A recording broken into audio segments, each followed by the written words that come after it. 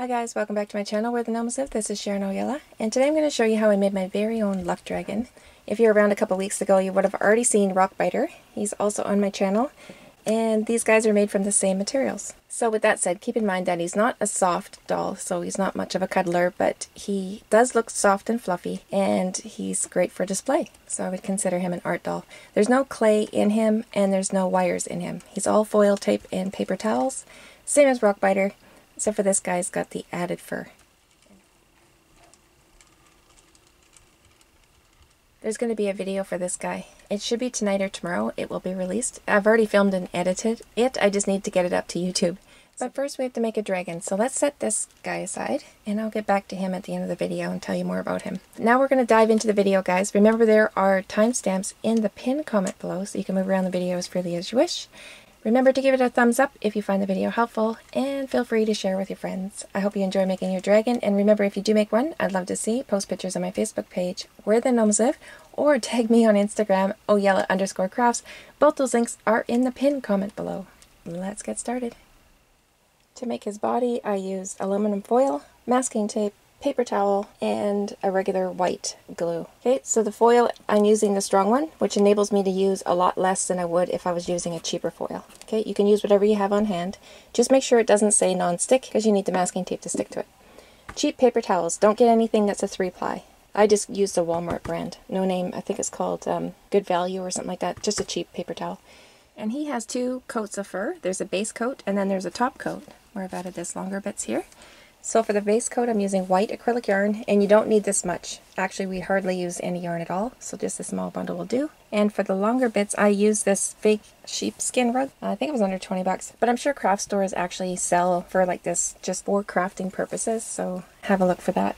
And to attach both of those, I used tacky glue, and I think this is the best glue to use for it.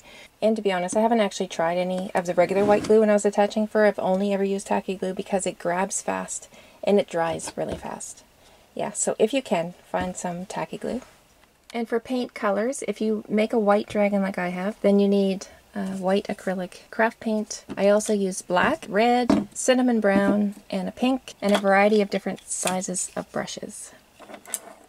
And you can see I did use sequins for his scales, but keep in mind if you can't find any on a string or get any sequins where you are living, don't worry about it. Uh, if you look online at other handmade Falkors, they don't have sequins. Most of them don't have sequins on them. And they look just as beautiful. Okay, so I found these years ago in a thrift store attached to this crocheted ribbon. And when I first saw it, I thought of him. And I thought one day I'll make them, and here I am. Luckily for me, when I cut the string off of here, they stayed together in a string. So that saved me a lot of work. When I got it off the ribbon, I realized it's a peachy color and I wanted pink. So I ordered some pink online but when they got here, I realized I'm going to spend hours stringing those together, and I didn't want to do that, so I just left them. These are beautiful, though. They're called iridescent white round cup, and you can order them already strung. But it was too late. By the time these guys arrived, I realized it was going to take too long to order anymore, so I just used what I had on hand. Okay, and the other thing not necessary to the project is this ribbon I also had in my stash. It's metallic. Very beautiful, and I used it to add scales to his cheekbones and a Varathane. If you don't have Varathane, you can also use a clear nail polish, and I use that in his mouth to give him a little bit of a shine, and also his eyeballs. For his eyelashes, you could buy yourself some fake eyelashes from the dollar store, but I actually just used some bristles off of a soft paintbrush, and I made my own, which I'll show you how to do in this video. And one more thing for supplies list that's not necessary. This is just for those of you like me who like texture. So when I came to his back end here, and also his belly, I was thinking, what could I add there to add that dragon type texture? And I thought of this stuff here. It's burlap. You can find burlap in your dollar stores. You can also find it in orange oranges, orange bags. I use them for, for craft supplies here. I glued that on and it's a great texture. The problem is I didn't really spend too much time on it and I kind of screwed up the color. But for my next dragon, if I ever do make one, I'll be using this again. So it's just something to keep in mind and something to play around with for added texture for those texture lovers out there. When I began recording this video, I started with a different dragon and then I lost hope in him when I got to his head and I'll show you that dragon. So this is the dragon that I started making in the video. So instead of scrapping all the time I spent uh, filming and editing that part, I left that in. So you'll see me forming his body, but I'll stop in with edits and I'll show you where I made differences when I make him. And then you can take from that what you need and make your own shaped dragon and your own size dragon. What I would suggest you do is keep an image beside you. So I have my iPad here. I can Google images on that. Find an image that you like of the dragon and keep it beside you and use that as a reference. And just use my video to show you how to attach the limbs and stuff like that. So with all of that said, guys, let's get started. Let's make a dragon.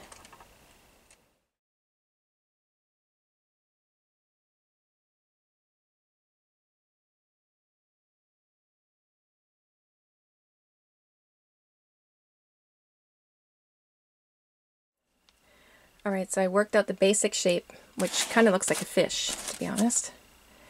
And now I'm just adding extra bits where I think there should be some bulk, like the hind legs. And then once I added that, this looked funny, so I'm just adding another piece here. So the best thing to do is just keep that picture, whatever picture you're going to use, beside you, and just keep referring to that. Uh, the other thing was, because this is a solid piece, a little hard to keep shaping with the fingers, so sometimes I'd stand up and push down with my hands to flatten out any areas, like here. Okay, so I'm just standing up now, and I just push down. I'm pushing on my palm to flatten out what I want flattened out. He's a solid little guy.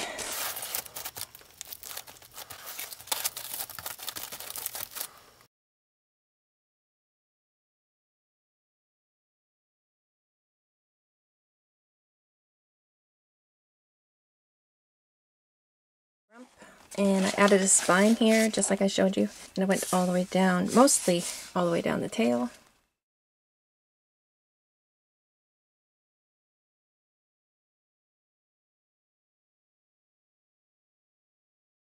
So whenever I'm making limbs uh, that I'm attaching, I always leave the top open, just like that, so it has something bigger to grab onto.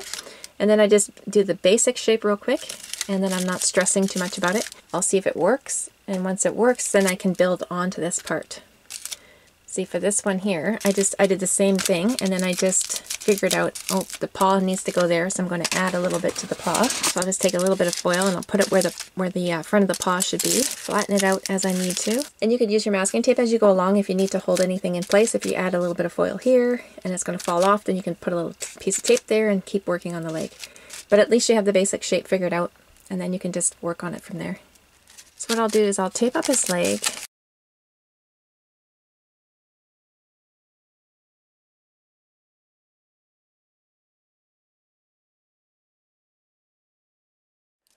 Alright, so now I can tape that into place.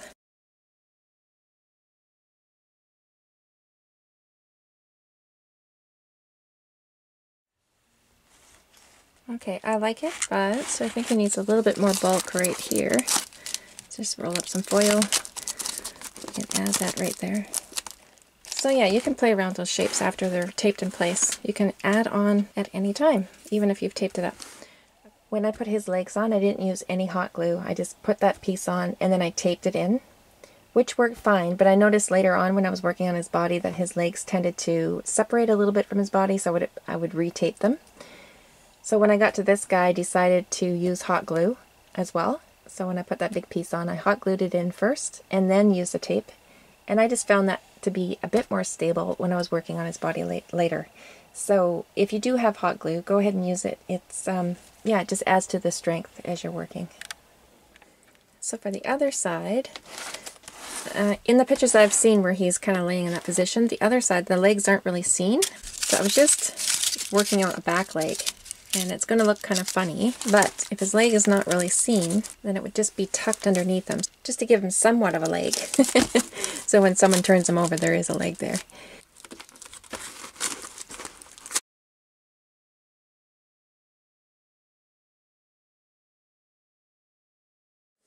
Same thing, I think I'm going to stick it underneath so it raises his body up just a little bit there. So a quick measurement for you. His body is about 12 inches from the rump to his neck, and this guy has a little bit more going on. From his rump to his shoulders is 12 inches, thereabout.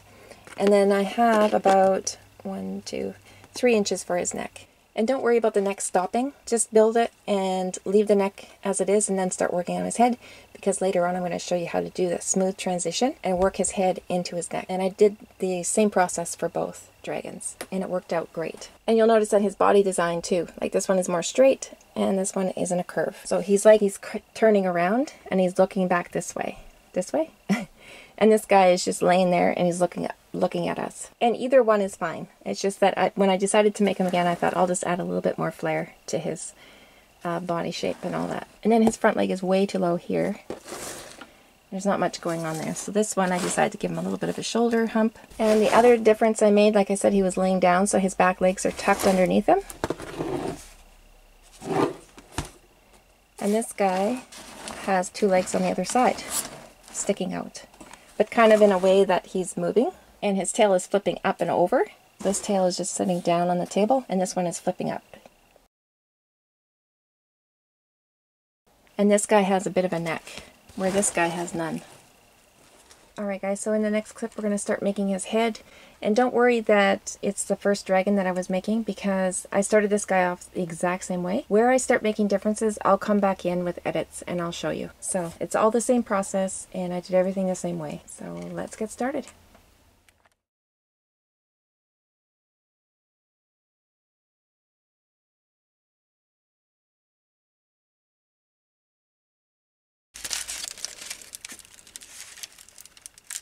And you don't have to do it that way. You can just do the front part first and then add on the head after. But there I go.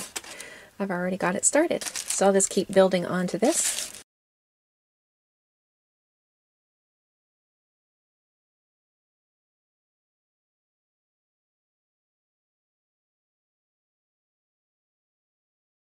But I was just thinking, how can I transition from the neck to the head and make it look fairly normal. And yeah, because that's quite bulky in there. So what I'm going to do, I've just taken some foil, rolled off, and then fold it in half so it's a bit thicker.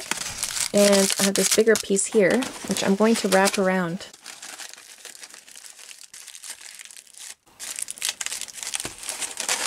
See that?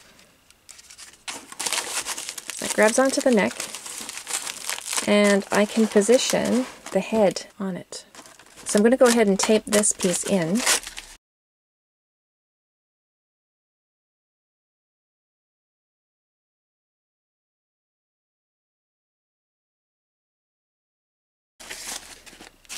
It still looks pretty funny, but I'm going to incorporate this part into the head. And what I'll do is I'll attach the lower jaw to this piece here. So I got to bring this up way up here.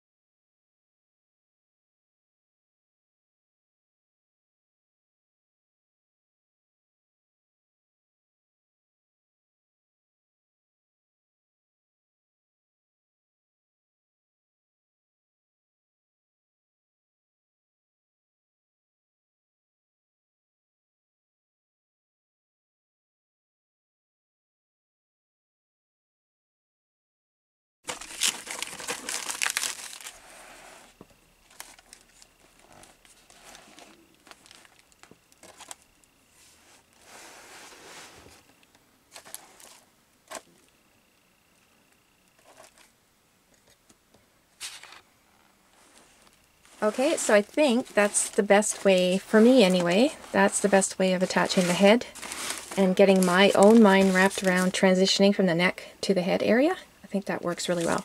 So once I get him attached on there, which won't be for a while because I want to work on his face details first, I will build out this head bit so it works seamlessly into the neck. Alright, so we have to work on his face a bit more in his head shape. It has to come out some and the top here has to come out and overlap the bottom. But the bottom I don't think is wide enough yet either. So let's work on that.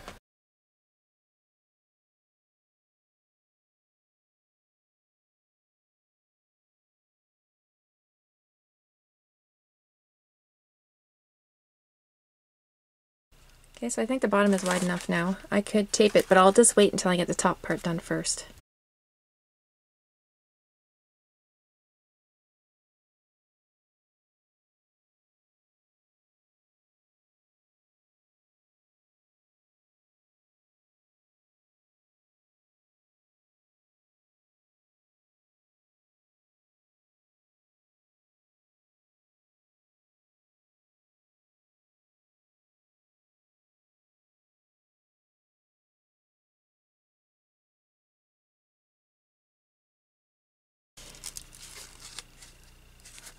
So I just shaped the top part a little bit so I can give, give him some front lips, and I'll work on that a bit more. Again, as long as we get the basic shape down, then we're on our way. I wonder if we shouldn't just tape that in now. I think I will. I'm going to put a piece of tape around that.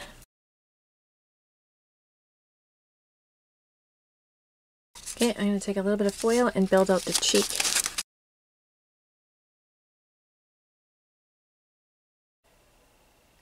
It's a bit difficult to see because they both have fur on, but where I went wrong with this guy was when I was adding those little bits of foil in the side of the face, I was bringing the foil down too far in this area. So what ended up happening was I made his face too fat here. Where this one, you can see it's kept more narrow. So when you add little bits to give him some shape to his head, keep those bits up here where his eyes will go. So you shape out this way. Looks more like a bicycle seat. And this one's just short and stubby. And the other mistake I made was I added too much foil on top of his head so it made his head too high here. And this one I kept much lower so it's more sloped. And again, I would suggest putting a picture up beside you and just keep referring to that. Okay, so at this point, I'm thinking of just taping him up now because I'm getting a little bit foil blind. And this happens to me. I need to tape it up and then I can see where things are supposed to go.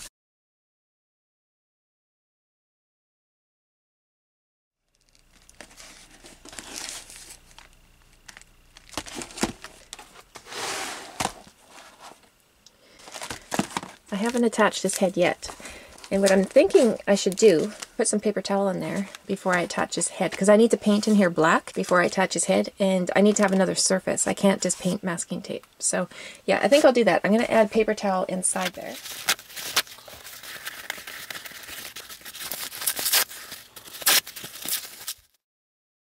Alright, so for his jaw and his body as well. We uh, stacked the paper towel and then just ripped all four sides. And I just poured a little bit of the white glue in there. And what I do with mine is I just add a touch of water and that just makes it easier to work with. And that's just for some white glues. Some white glues are pretty runny on their own, and some white glues like this one here is pretty thick. So I tend to water mine down. Then I just take a piece of paper towel, run it along the surface, fold the dry sides together, and then just pull the excess glue off. And then just make sure that both sides are saturated with the glue.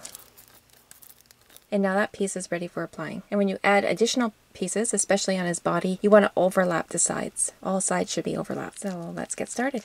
And I'll lay it over top his lip. And you know, I might be adding to the outside yet. I might be adding foil and tape still. But I, I'm not worried about that. I'm just wanting to get the very interior done of his, of his mouth. And then I can paint him.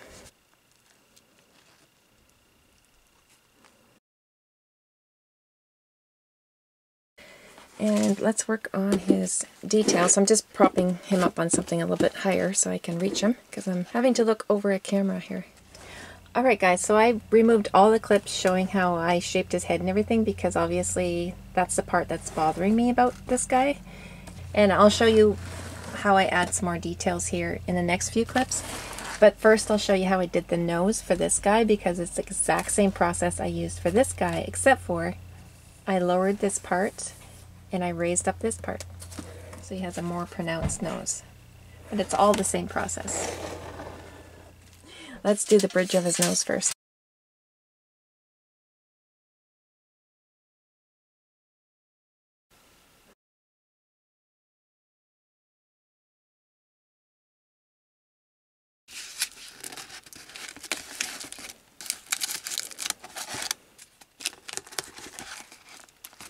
And now I will work on his nose and the front of his lip here.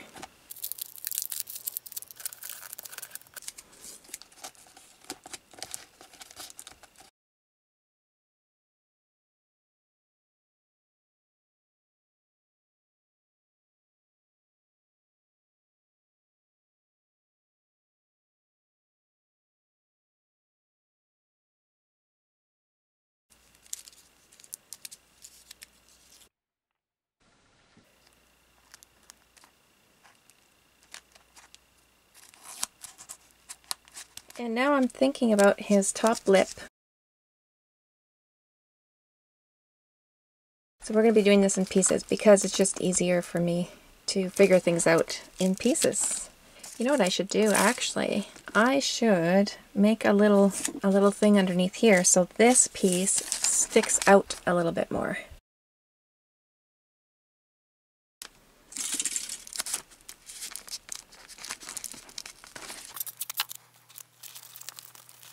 Now let's see how that looks. Yeah, much better. We will tape this into place now, the top piece. And I'm going to make an indent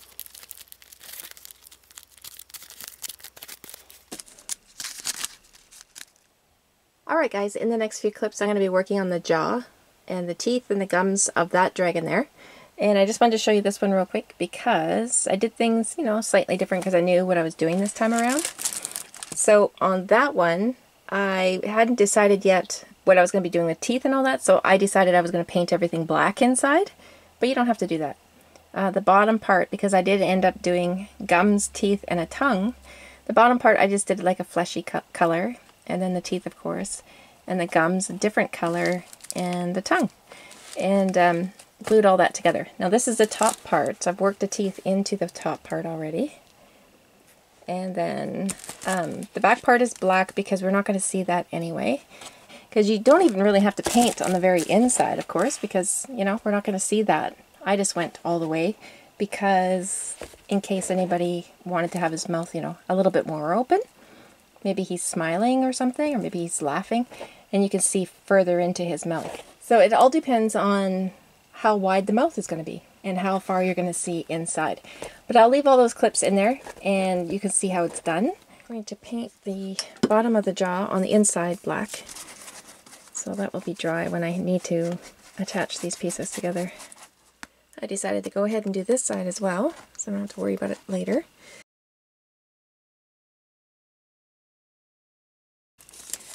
Okay, so I'm going to add a little bit of um, bulk to his bottom lip. I was looking at that and I can see that he, he does need it there. Okay, so when we add a new piece of foil to an existing piece, the, the masking tape is just to cover up the foil. And when we get our paper towel, that's the part that's going to keep everything in place because the foil will not hold the paper towel by itself. So you got to have the masking tape on there in order for the paper towel to stick.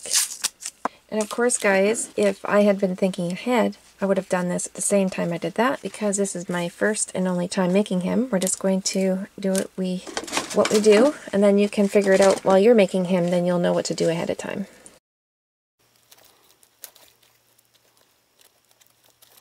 Once that paper towel is dry, those lips are permanently in place. They have become one solid unit with the uh, original piece because we overlap the paper towel onto the old piece. Alright, it is dry, and I did that before I went to bed last night, and then I realized he has teeth. so I'm going to have to add those today, and I'm going to paint his lips real quick. Alright, and now I'm thinking about teeth. So I just rolled up some foil. I'm going to cover this with uh, masking tape.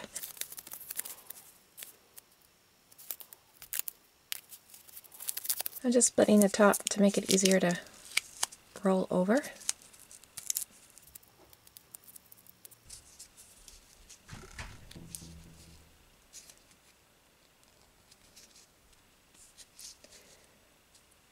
Don't know if this is going to help or not.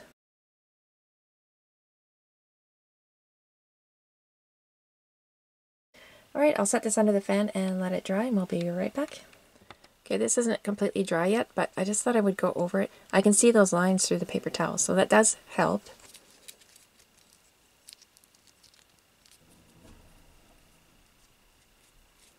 Okay, I'm just doing my second coat now, and I was reminded that Paint cracks if you paint over anything that's been dipped in glue. So that's normal. And you just have to do two or three coats to take care of that problem. They're not completely dry yet, but they're dry enough to the touch that I can try this out.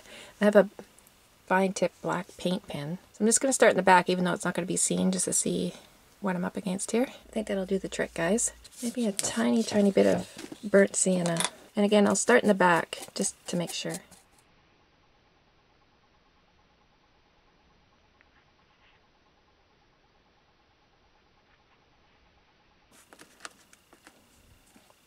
But I was just thinking of adding a little strip of gum in there. And I would do it with paper towel.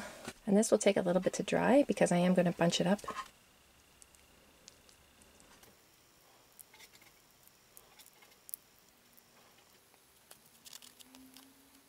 I'm going to let that dry, and again, I'm not going to see anything back here, so I'm not going to worry about that. But uh, we'll let this dry, and then I'll... Alright, so that is dry to the touch, and I can paint it now.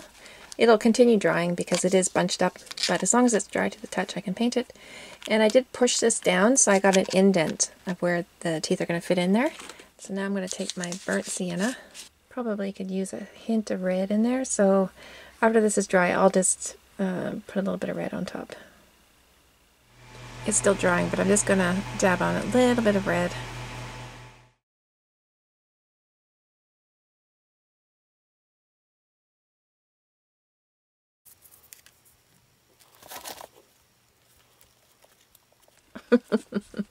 as I'm as I'm doing this, I'm thinking about dragon dentures. and if my job ever fails me, I know what I can do. I can go work for the dragons. Oh my goodness. Alright, so of course I'm going to have to add a tongue now. I wasn't planning on it because you can't really see it in there anyway, but I'm going to go ahead and do it. And there is some pictures of him online with his tongue kind of hanging out, so that's an option as well. So again, just rolled up foil. Put the masking tape on and then the paper towel and let it dry. What I'm going to do is glue this down. I'll use tacky glue.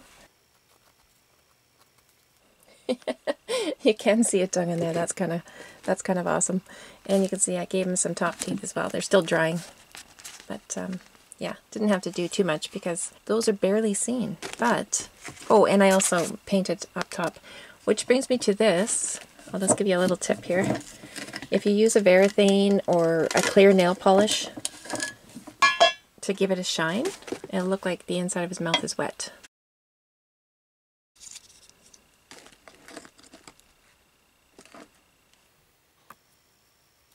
I was just looking at pictures of the dragon and his lips are a little bit too pink so I'm just going to tone them down with some antique white and my feather brush. Once I tone them down I will cover it up again with the, um, the varnish. Alright guys, in the next few clips we're going to be attaching the top of his head to his jaw, like permanently attaching it. And this is also where things started going wrong because after I got the head attached and it worked out perfectly, um, yeah, I'll just show you the other side here. It worked out great, but what I did wrong was I kept adding foil to the top of his head and to the sides, and I kept adding and adding, and pretty soon his head was too big and too wide. Okay? So for this guy, same process as I'm going to show you for that one in the next few clips. He's got a longer neck, of course.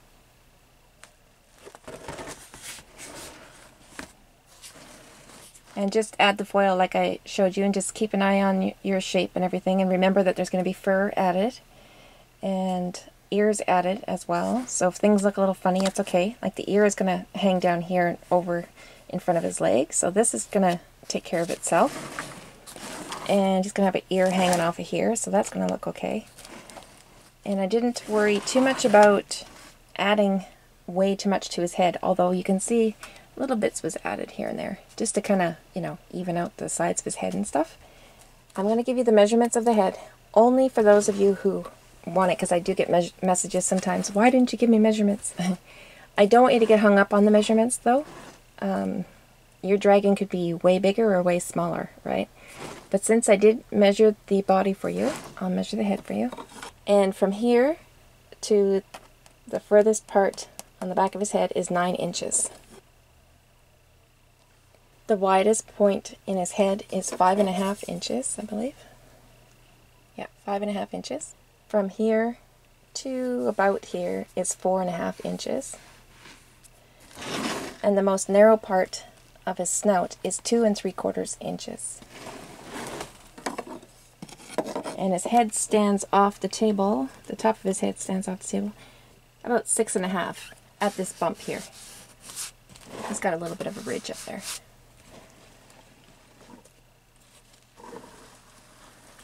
Head kind of resembles a bicycle seat, doesn't it? So you will be adding little bits of foil and stuff to, you know, connect the back of his mouth there. So there, I left about four inches open here.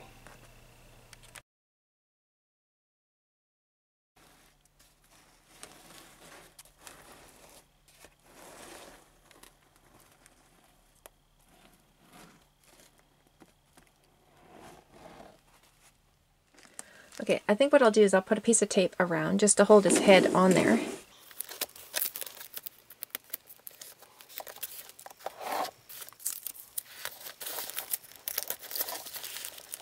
I have the hot glue gun heating up because um, I want to attach some foil to the back of his head because I'm going to be building out the back part of his head here. And I'm thinking what I should do is prop his head up so it stays in that one position. and take his eyeballs out. They're looking at me kind of weird. and yeah, I'll prop his, his um, something underneath here. So when I'm working on the back of his head, this will stay in the one position. Yeah, I think like that.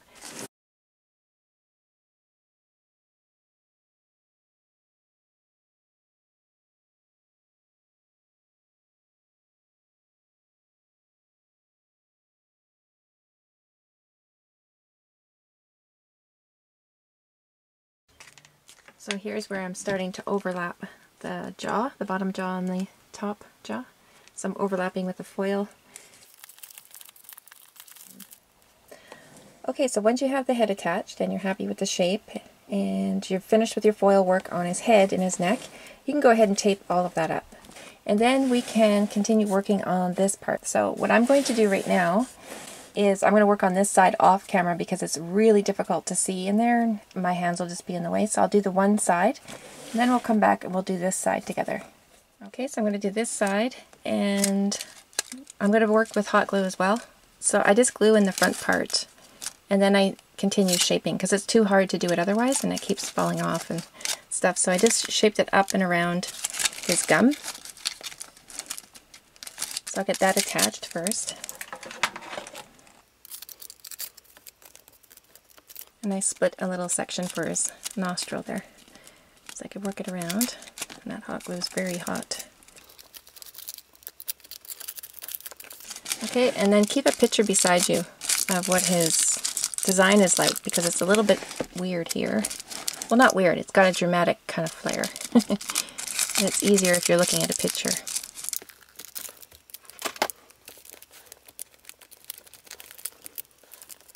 I just wrap the foil underneath the existing gum, but not too far because you don't want to have to paint too much in there. When we do the paper towel, we're going to wrap it underneath as well. And then we can just touch up the paint on the inside of the gum.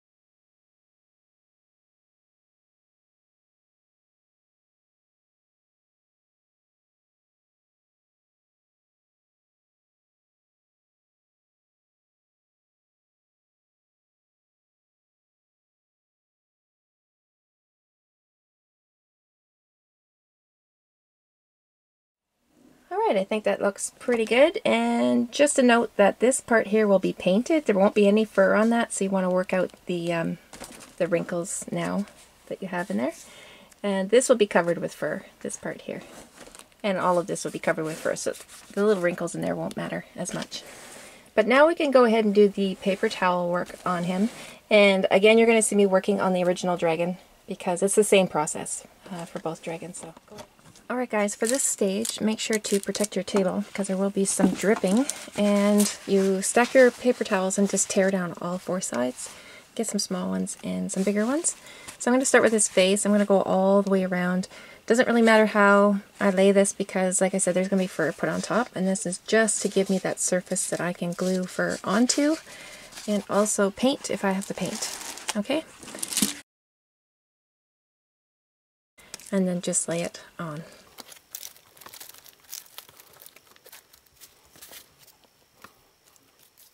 I'll do as much as I can on this side and then I'll set it to dry Once it's dry, I can turn it over into the other side. And the great part about this stage is that paper dr towel dries pretty fast. So we won't have to wait long. And if you get to a difficult spot like the nostrils where you're having troubles working in that area and everything's all wet around it, just let everything dry and then come back and do it. And you'll find it much easier that way. So I put a coat of paper towel on him. I actually put two coats. So I went over him once and then I went over him again. Um, I just find it makes it super solid that way. You don't have to do it that way. It's just something I felt like I wanted to do. And then underneath you can see this part because I wrapped it around and just I didn't look what I was doing and I just left it. There's a part that wasn't pushed down. So I'm just going to take that off. There's another piece there. Yeah, however it dries is how it's going to stay permanently. So you want to make sure that you have it laying the way you want it to lay before you leave it dry. But it's not a big deal. I mean, it's very, very fixable. And I have to do the underside of them yet today anyway. And when I do the underside, I'm going to make sure that I overlap this seam here where the old paper towel is. I'm going to make sure I overlap that so that sucks those seams down and together forever. You'll notice if you leave your bowl of glue covered overnight that it might be a bit thicker in the morning like mine is right now. So I'm going to put a little bit more water in mine. See there's the original paper towel there. I want to overlap that seam. And I forgot to mention that you want to work out any air bubbles, of course, is push those out. Uh, little wrinkles like this is not a big deal because that's going to be covered in the fur and you won't see those. Um, the part that you're going to paint, of course, you want to make sure you work out the wrinkles, like this part here. Uh, but the rest of it is fine, it'll be covered with the fur. The paper towel, once it's completely dry, you'll see the, the masking tape through it, so it turns into the color of the masking tape. And this is dry to the touch, but it's still drying underneath, because anything that's white, that just means the glue isn't totally dry. But you can still paint that. Once it's dry to the touch, you can go ahead and paint it. Alright guys, last night before I went to bed, I tried out something. And I glued on some, it's like a burlap material. And it's actually worked out really nicely. I like the texture of it. I don't know if I really like that color that I've painted on there, but uh, I can think more about that later. Anyway, this is not necessary to the project, of course, and this is just me adding texture. you definitely don't have to do this. But I use tacky glue and it works really, really well, so I'm going to go ahead and do that. I'm just going to piece together the back end here.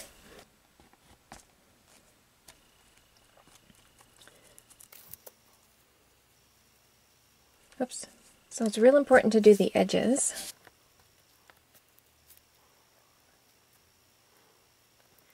So on top of that burlap, I did black paint. And then after the black was dried, brushed on the pink and tried to just brush it on the surface and not get into all the little cracks. And what's left behind is a whole bunch of little scales. So I thought that was pretty cool. And I could have worked more, I could have spent more time on that to make it look even cooler. But I think once I have the fur on and stuff, that's going to look really awesome. Alright, so there's two coats of white on him.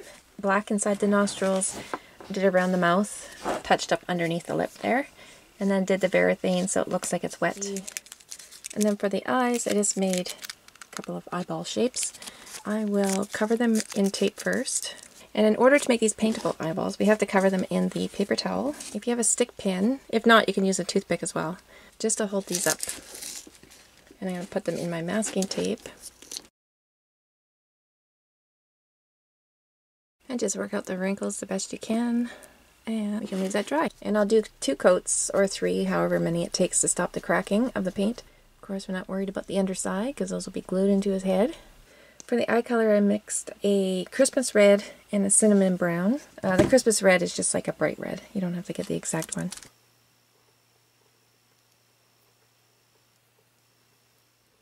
So I'm actually using a paint pen, but you can use a black felt pen. And I did three coats of that reddish brown color.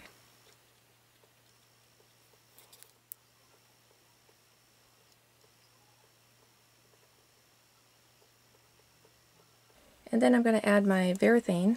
And again, if you don't have any, you can use a clear nail polish. Make sure to work out as many wrinkles as you can because you want to have a smooth eye. And this is where you could work with clay as well, guys. I'm using straight up foil for the whole thing just so people can see that it can be done. But if you have uh, clay, it might be easier for yourself to do it with clay. So I really have to work out those wrinkles. When I was building my foil ball, I would kind of smooth it out on the table, rock it back and forth. And when I put the masking tape on there as well, I would do the same thing, kind of smooth it out on the table to get out as many wrinkles as I could. And they look pretty smooth, but you have to work at it.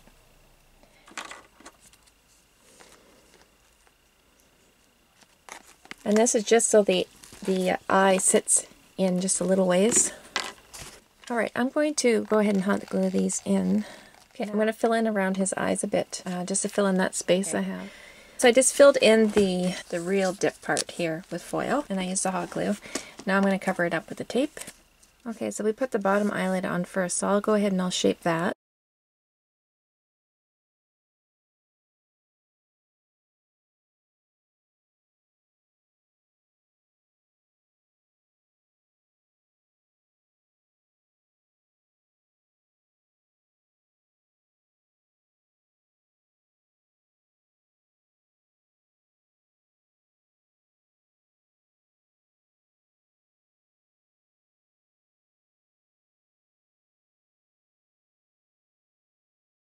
Um, I'm going to use tacky glue and hot glue together and when you're doing these pieces don't make them too thick because they'll just get too bulky and they'll look funny.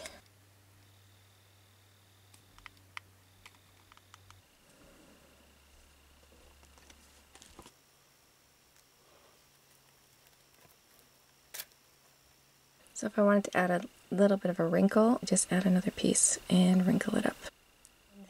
And the other heads up is the lid is quite tall and I did that on purpose so I could have that painted look on top of the lid and then I could glue the fur on top. So you don't have to worry about how high it is because even if it's too high, we can still cover it up with the fur and you won't tell. But this way, if you give yourself enough lid to play around with, you can really design fur around it and make it look pretty cool.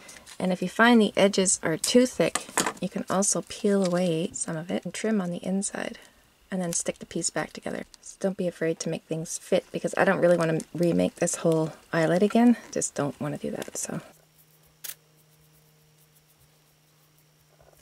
Alright guys, I am editing right now and I realized I should have spent a little bit more time on that top lid just to show you how I designed it. You can design it however you feel you want to, but you can see certain things in there that I didn't show you up close. I'm going to do that right now. So first of all, the top lid and the bottom lid I made very thin because the first time around I made them way too thick and they, they just looked very bulky and weird. So I kept them as thin as possible. So I just fold over a piece of foil, but that's the last fold.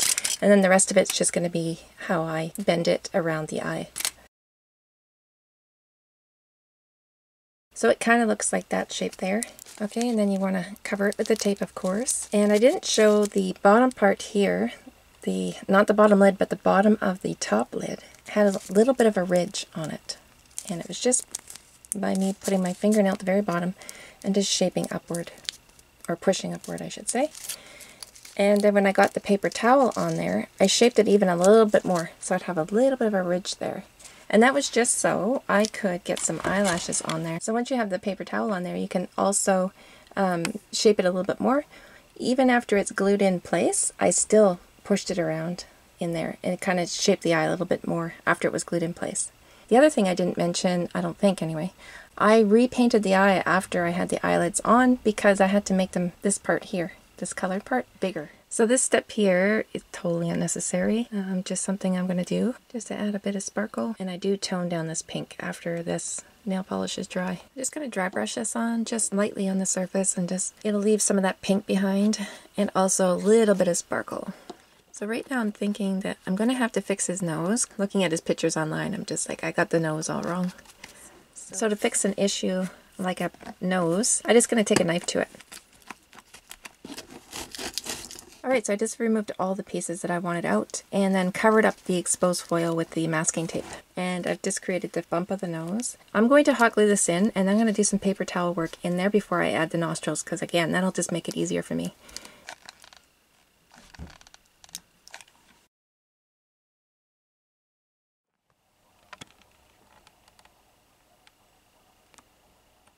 Alright, his nose looks a little bit better. Could have been great, but, you know, not bad for a fix-up. And now I'm just adding cheekbones, and I'm just looking at a picture of his and trying to figure out where those cheekbones are. So, again, just hot gluing the foil in place. Once all that's figured out, I'll cover it in the masking tape and paper towel and let it dry. Alright, so we got a little bit more dimension in his face now. And again, look at pictures, guys, and follow that. I had a little bit of struggles because I'm filming as well, so I'm, I'm tending to overthink every little thing that I'm doing. and it kind of sucks away a little bit of my own creativity because I'm trying to be as helpful as I can, but it, it just, it takes away something from what I'm doing as well. And because I want him to turn out so good, uh, because I know he's a beloved character, right? So I'm doing my best, guys. Get all emotional. Alright, so the technique that I use for uh, adding fur is one that I use on tiny little creatures like this. And it works super well. This is the first time I've ever done a big, big guy. Yeah, a couple things I'll pass along. Okay, so the first time I ever saw someone use yarn as fur, it was the Sugar Charm shop, and that was years ago. I don't think she's uploading videos anymore, but I believe her videos are still on YouTube. And she made a little tiny bug, and she added fur using yarn. So that's what um, got me started with yarn for fur. Um, okay, so the first thing that I noticed doing this bigger guy is that there's a lot of dust that comes off of here. So if you're sensitive to that, you might want to wear a mask. I've never noticed it when making these little guys, probably because I only use a tiny bit of yarn, so I never noticed it. But last night when I finished doing his body, there was a layer of yarn dust all over my desk and my camera. So wear a mask if you're sensitive, please. And popping in with a quick edit, just to give you a heads up, uh, in the next clip, I'm going to show you how I attach the yarn fur to his head and you saw that I already done it to the body. And I'm not sure if that was the right order to do it in. Like, I mean, as far as sequence goes, I'm not sure if I should have uh, glued the sequence down first and then added the yarn fur. I don't know. Um, it's kind of up in the air for me because I think it looks great the way it turned out. But the one thing I will tell you that I shouldn't have done was add these longer bits of fur before I added the sequence because I kind of battled with that later. So it's up to you if you want to do the sequence first and then the fur or the fur and then the sequence. I'm going to leave that up to you. But I will tell you don't add the long bits before you add the sequence. Do that last. And now we'll get back to the video and I'll show you how I attach the fur to his body. So what I do is just wrap the yarn around my hand in a manageable bundle. And by manageable, I mean I'm going to have to clip through the bundle that I make. So I tend to do smaller bundles like this because your fingers get tired after a while. So you just keep snipping in little bits. And I find these smaller bundles just easier to cut through.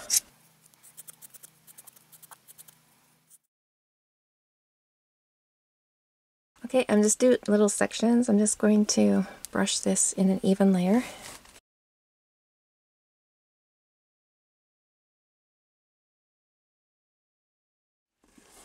Then we're just going to take bunches and we're just going to push it into the glue and really push it in. And once you have it completely covered, all the glue covered, go over it again with your hand and just push it in.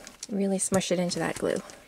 And after we make sure we smush it into the glue, now we're going to leave it sit. Now I always put the fan on mine and I leave it for about a half an hour.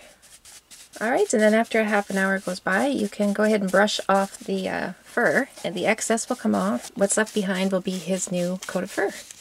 And if there's any bare spots, you can go over them with glue and more fur again, or more yarn, I should say.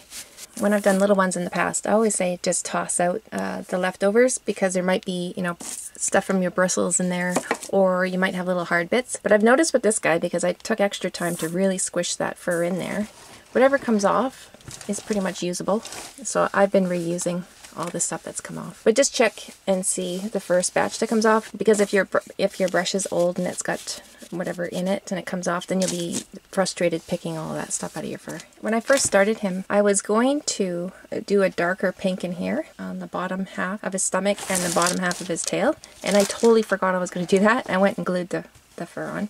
But you can see the color does show behind that fur. But yeah, if I would have remembered that, that would have looked really cool there. Oh well, I'll figure out something else for that spot. But yeah, now I'll go over and I'll check for any bare spots like right here. I could add a bit more glue right there, stick some more fur in, and just tap it down and wait until it dries. So that's what I'll be doing next. You can also trim up any longer bits that are stuck. So now I'm just doing a little bit of detail work and I'm going to use some of that sparkly ribbon. So beautiful. The metallic, it really shines when you turn it in the light. So I put one here already. I don't know if you can see that or not. Anyway, I'm going to put one over here on this side. And you'll notice I did paint, because I had some pink there. I decided to paint over that. And I am putting fur too, so I'll just do the whole thing while I'm here.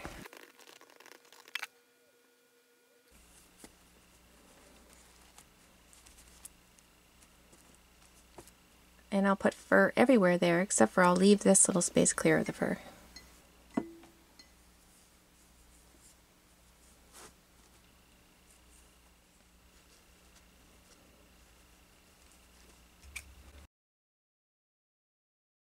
Just, just figuring out the ears now. This one here, I shaped it to fit around the shoulder. And it's very thin, as you can see. Alright guys, just popping in with an edit just to be clear that the top of the ear, I did create this little narrow part here.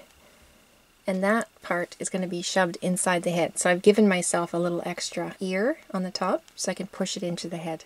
Okay, so I'm just going to uh, cover this with a tape and then the paper towel. And then when we come back, I will have already painted this two coats of white. Alright, so I did the two coats of paint, let it dry, and I've already got the back on.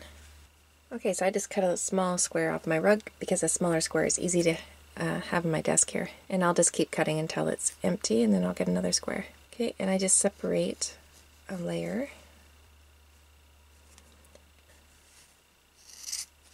So when you're putting them on, you just want to make sure that the fibers are all going in the same direction. And of course, they're going to go down. So I'm going to put an even bead of glue about a half an inch up from the bottom, straight across.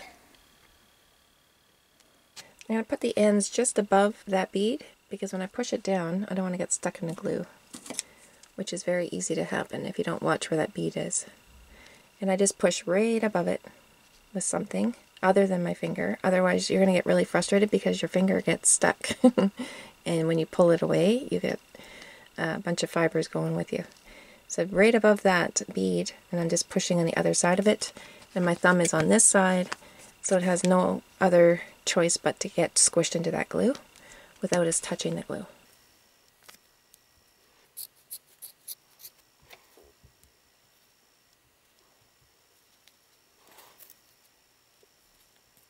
And the wonderful thing about tacky glue is it grabs on pretty fast. So you don't have to wait too long.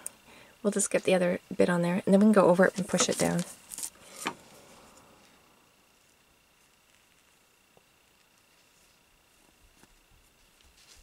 So I put a bead of glue about a half an inch up from the top edge of the first row. And I'll do that all again. Okay, and after I got to the top, this is where I'm going to stop. I'm going to leave this much free because I'm going to finish that when I get it onto the head. Um, I set it underneath the fan for about five or six minutes, and then I did the one edge. So I'll do this edge now, and I'll run a bead of glue up the edge. And I got a small little bundle. I'm going to lay it over. Okay, and this one's a little bit tricky. I, I did the whole edge without getting my fingers in the glue. And if you can, get your finger on either side, pushing down and then pinch. And just a little ways up from that one. Lay this one in and then pinch it. Oh, I got my finger in the glue there. Alright guys, now we're going to install the ear and this part here, most of that is going to be pushed inside the head. So I'm just going to determine where it's going to go. And if we mess this up, it's okay. I can always put some glue in there and cover it up with the fur. So this ear is installed. It looks great that's coming out of there. It's still drying, so I'm going to leave that one alone. So when I got this slit open, I did take my scissors and I just pushed them in there and just push all the foil out of the way. So you can get the ear in there, no problem. And I also had to use my pliers and turn in the sides so it would fit in there nice. I'll put on an abundance of glue on this side and this side.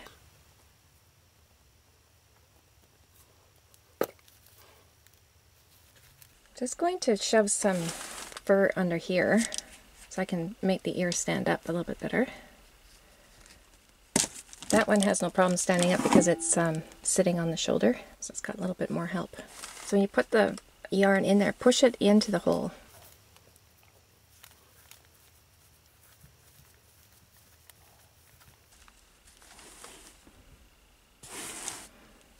Feels better already. And now I'm going to put a bit more glue on here and I'll shove the yarn into that side.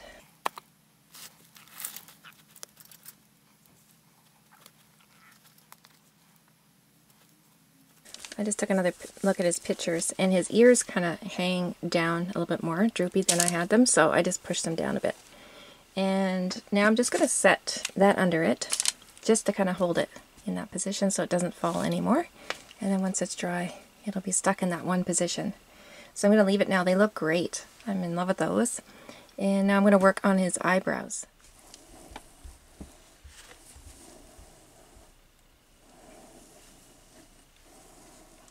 So when you're putting the fur on, you want to start at the furthest point away and work your way in so you're layering the right way, just like we did the ear. And I got this started as well, and I've already uh, attached the two back layers, and I'll keep going to here, I think. Keep something to wipe your glue nozzle off with because it does get pretty gummy fast from the fibers getting stuck to it, and then you end up with a big string of gum. and that gets a little frustrating. Okay, I'll start in the back. And you'll notice that putting the fur down onto the yarn is a lot easier than just doing it on paint. And you don't get your fingers stuck in as much glue attaching it to the, uh, to the yarn itself.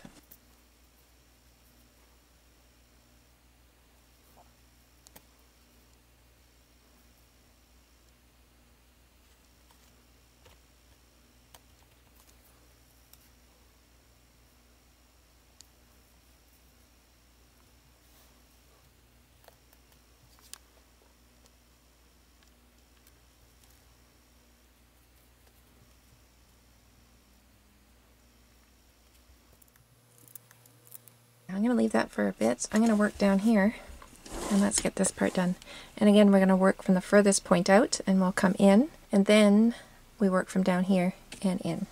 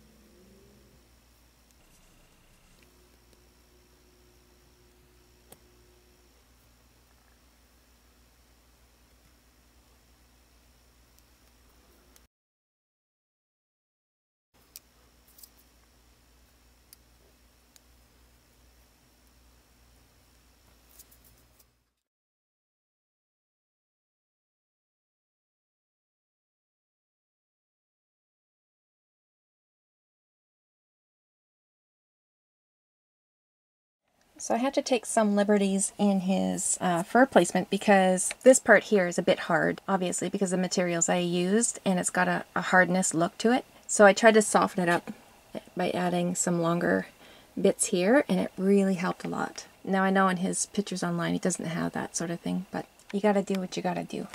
And I made his beard a little bit longer than it is online as well. Alright, so when we put this longer fur on, is a little bit different than the ear because I'm putting the ends of the fur, or these longer bits of fur, right into the glue. I'm not putting it over top that bead like I did on the ear. I only did that for the ear because it's laying flat anyway and it goes down and it's just easier not to get your fingers stuck in the glue if you do it the way I showed you. But for these ones, um, over the fur like this and on his body, I put it right in. I put the ends right into the glue itself and then I just tap it down. And again, just make sure that the fibers are going in the right direction. Okay, so the ends right into that glue. Then you can just tap it down. And once it's dry, honestly, I have taken a vacuum to this guy already, and I'll show you that at the end here. And as you can see, like I'm putting extra here, but I, I really didn't need it. Um, the fur over top the yarn looks like he has a full coat of fur, and I hardly put any on there. Like you saw me do this one here. There's really not that much put in there, but it looks like it's full. So it's a, it's a cool process. Just put it where I think there's a bit of a bare spot. Ends right into that glue. And tap it down.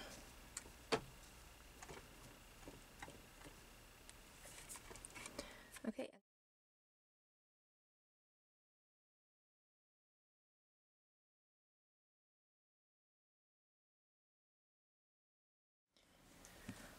Alright, so we got that longer fur attached on top of the spine, and then I did a bead of glue and just dropped the sequins into that bead of glue all the way down. And now I'm going to repeat that with another uh, string of sequins.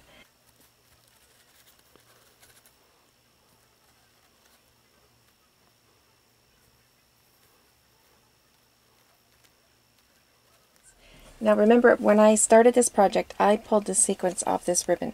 And I was working with a limited amount of sequins. So when you saw me gluing them down, I kind of had spaced them out a little bit.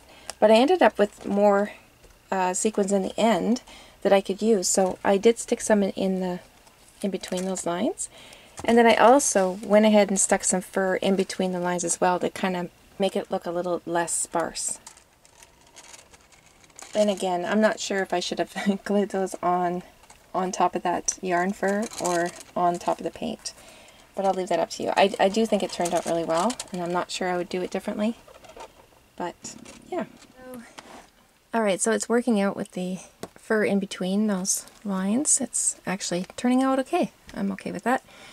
Um, down here, I've mentioned I think twice now that I really wish I would have painted behind there before I put the fur but I didn't. Anyway, I just mixed skin tone with some pink and some water, and I'm going to try, oh, I hope I don't mess this up now.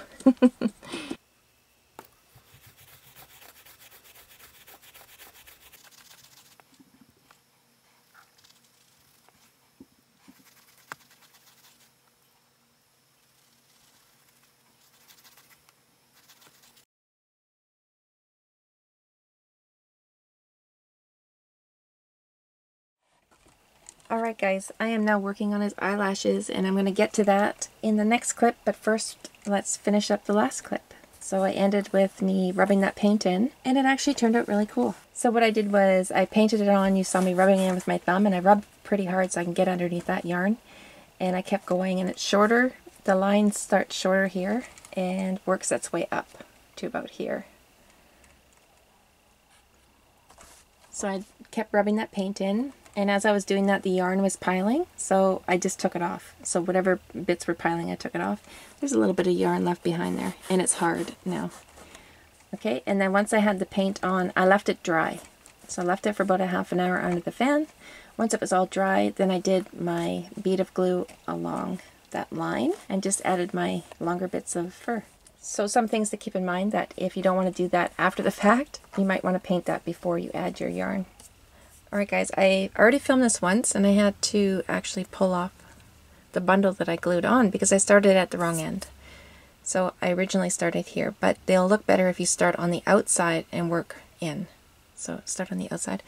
I just take a little bit of tacky glue. I'm going to go on the very edge of the eyelid, on the outer edge. Okay, I'm just going to get a little bundle and cut at the base.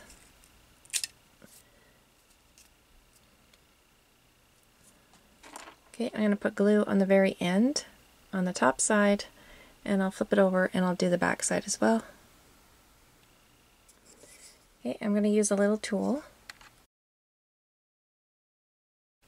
So I'll put it right underneath the lid and then I'm going to put my tool right underneath those fibers and push up. And once they're up, and then I'm going to use my fingernail and get the lashes to go around the corner and into that glue that I put on the outer edge.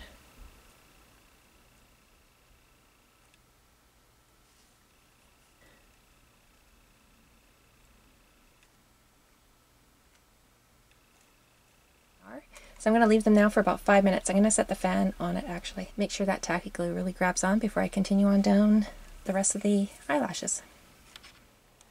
So now my big decision is, should I trim those or leave them long? I haven't decided yet. I don't know if I'll decide that before this video ends, but yeah, there you go.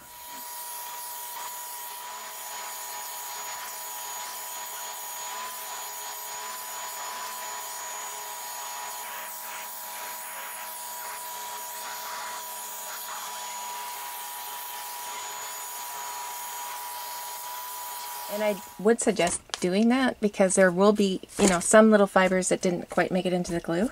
And you want to get those out so it doesn't shed. And after you take the vacuum to them, just look them over. And if there's any clumps missing that uh, were pulled out from the vacuum, go ahead and just add in a bit more. Alright, so now that we've got the dragon done, we can make a little character. Now you can make any character that you want to make. You can make the ones from the movie, and I was kind of planning that in the beginning, but then I quickly changed my mind because this story is actually my youngest son's one of his favorite stories, and we watched the movie together countless times. Uh, along with my daughter, but my son really, really liked the dragon. So what I did was make a miniature version of him when he had longer hair. My son just had his hair cut, but he used to have long hair. So I did a miniature version of him. He's made with all the same materials. So foil, masking tape, paper towel, and I used some yarn for his hair. And his video should be uploaded very shortly. It's already filmed and edited. I just have to get it up to YouTube. And depending on when you're watching this video, it will be popping up on the screen or it will be in the pinned comment below. Alright my friends, I hope you enjoyed the video. I surely enjoyed making him and I'm totally in love with him. And I would love to see yours if you ever do make one. Please post pictures on my Facebook page or tag me on Instagram. And again, those links are found in the pinned comment below. Alright guys, we'll see you in the next one.